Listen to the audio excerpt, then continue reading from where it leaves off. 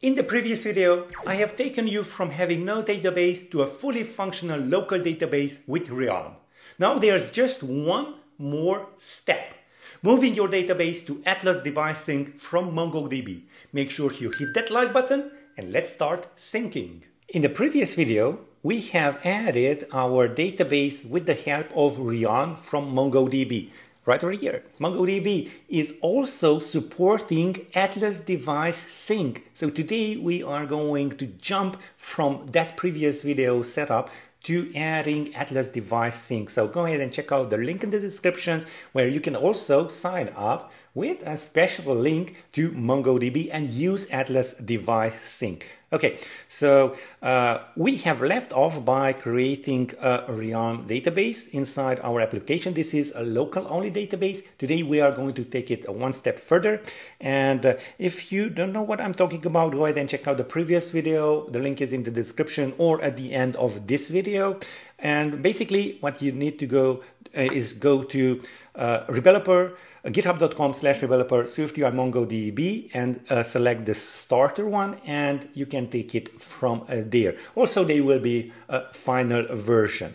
Okay, so uh, let's just take a look at what we need to do first inside our application. Uh, as you can see now, the app, Realm Swift app, is set to nil. Now, what we want to do is have an ID. We want to have a Realm Swift app with an ID so we can just link it to our Atlas device sync. For that, we are going to need a sync app ID. So let's jump into the setup and you can see here I have a link where you will have all the necessary steps so how you can set uh, your app up. So first of all, you need to create an Atlas, the app service app, enable asynchronous authentication. That is what we are going to use. Atlas enable Atlas device sync. Make sure you choose partition-based sync, specify a cluster in the database, turn on development mode, and so forth. So just go through these steps. Uh, there are quite a few, but uh, uh, all of this documentation is really, really clear. And once you do that, you will get your ID. But maybe you just logged out uh, as I did, and uh, you want to know where is that ID. Well, you want to go under, first of all, you want to select your organization and then your project. And under app services, you want to just, just wait for this a little bit. You just want to select your created application. And here is your application app ID. So just copy it out. Let's just go back to Xcode and add your app ID right over there. I always want to, I always use these structs to not have typos in my application. So let's just go back to our SwiftUI MongoDB app and uh, comment this line out and comment that back in. So now we are using our app ID. And what we are going to do is instead of empty view, now we are going to use our sync content view app. So uh, but uh, let's just use, uh, do that uh, as the last step because as you can see we do really need to have an app and as usual, I have these views laid out in order. So we are going to take a look at the logout, login, open, and sync content view will be our last one. So uh, now that we have all of that set up, let's take care of logging out. So we already have a logout button, uh, which we are going to use inside our application, but it's not set up. So let's do that. First of all, we are going to import, uh, import, there we go, uh, Realm Swift. And of course, Realm and Realm database has already been added to uh, our project as a Swift package. Go ahead and check out the previous uh, video where we are we are talking about how to set up Realm. And um, yeah, go in, in, the link in the description or at the end of uh, this video. Okay import Realm Swift. And now we want to check out if we do have an app or not. If we don't have an app, uh, the app. So what am I talking about? About this. Do we have a Realm Swift app? So let's just go back. If let, let me just select our empty view. If let app equals our app, then we are going to present a button. Otherwise, we are going to set an empty view for this uh, views body. Now, uh, let's create a button right over here. Uh, I'm going to use the one with the action and label. For the label, um, just simply have a text of logout. uh, maybe let's just have it as a bold. Okay, right over here, uh, first of all, we want to make sure that we do have a user. If we don't have a user, this logout button should do nothing. So uh, guard let user equals, and that comes from the app's current user. There we go. Else we just want to return, so uh, no action is required if we don't have a user. Uh, and also I'm going to set uh, this point up is a logging out. Uh, well, uh, where is, oh, I think I just, yeah, I didn't go into the correct view. Let me just move this uh, out and put it into the logout button. There we go.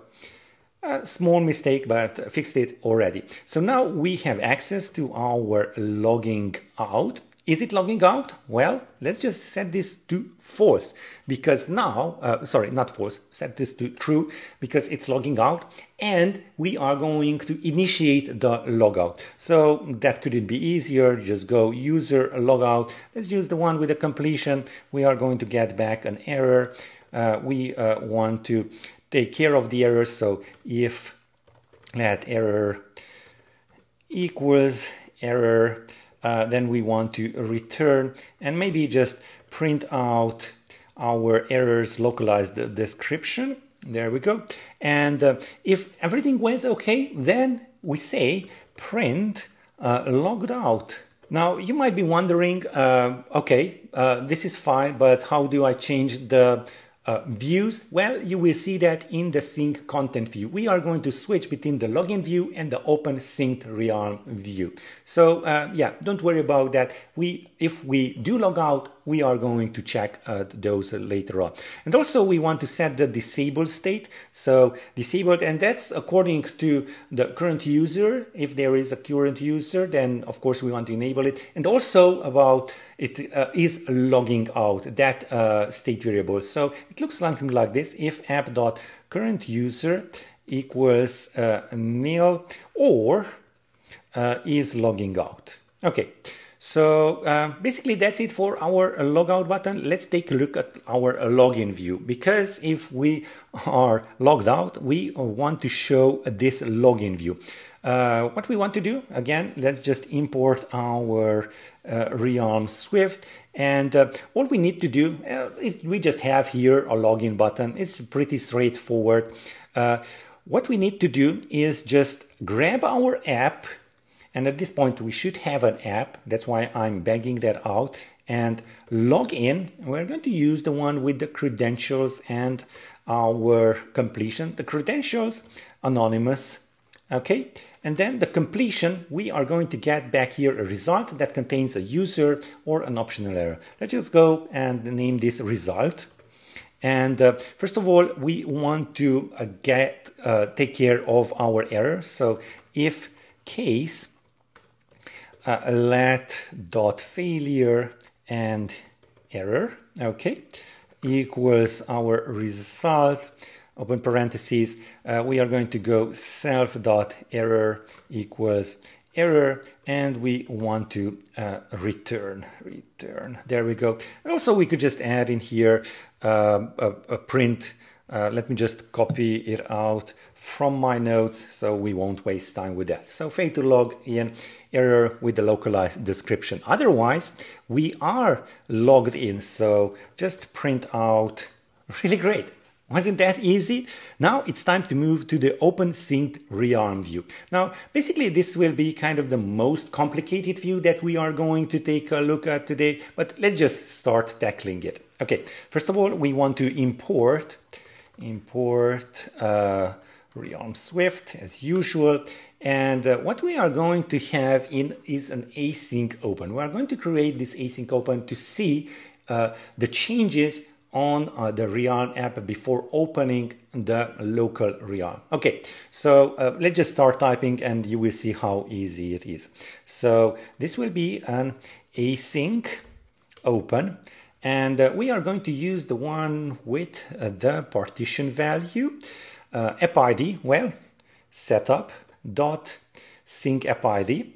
And the partition value, we're going to set this to an empty string because we are going to set an environment in just a second. And the configuration, we don't need a configuration at this time. And the timeout should be maybe 4000.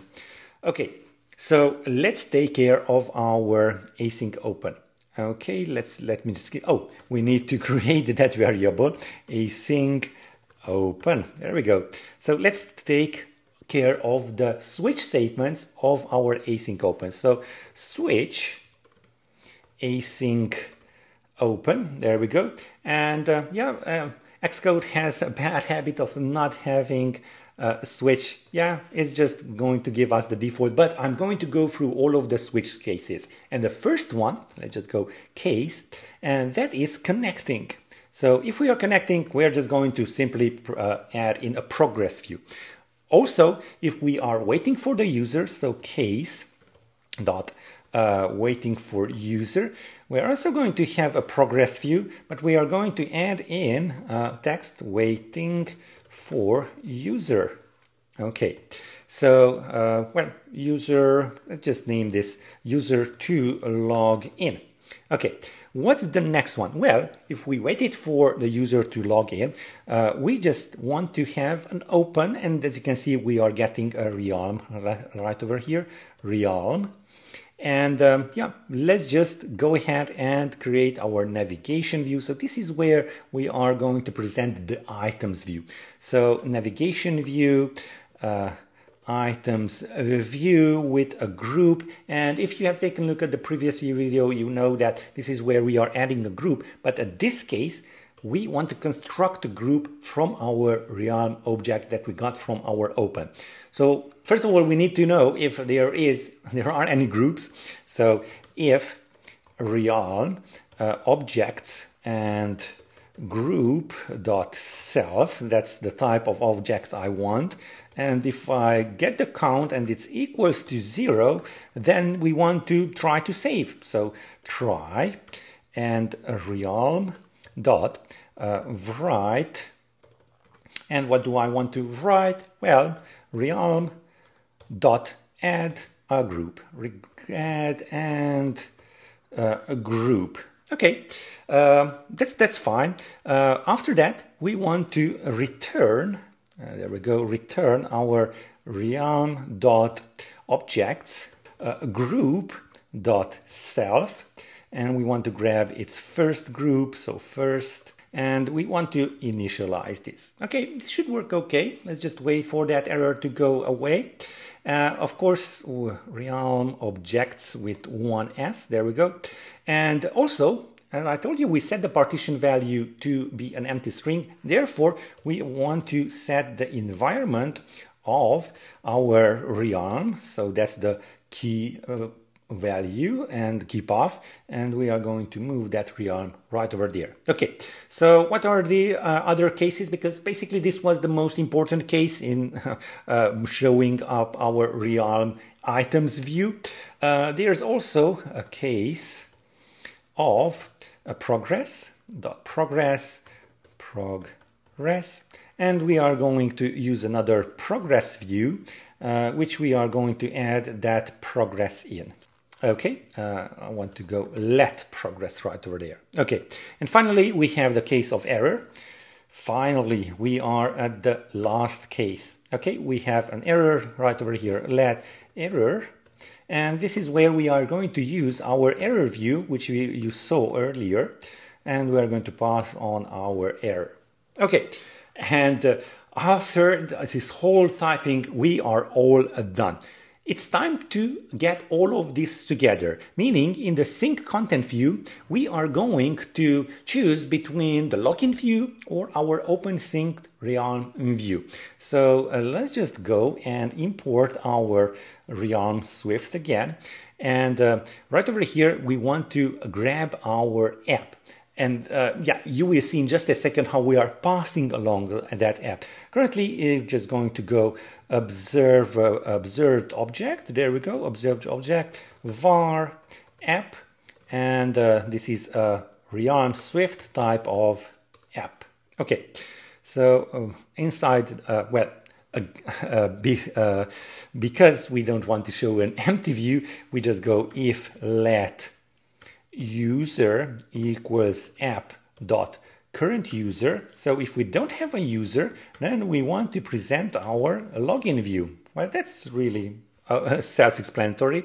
Otherwise, we want to show the OpenSync Realm view and we also want to set the environment for and this is where the partition key comes in. So partition value, we are going to set the user's ID. That's why we wanted to make sure that we have a user.